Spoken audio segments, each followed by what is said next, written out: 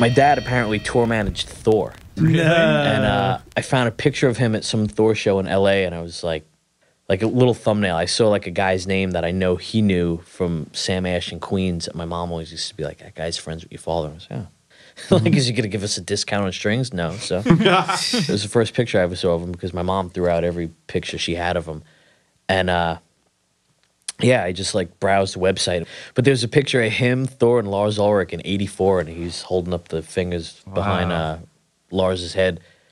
Must have came out to see him in L.A. or something like that. And I was like, man, cool. You weren't paying child support, but you were on tour with Thor.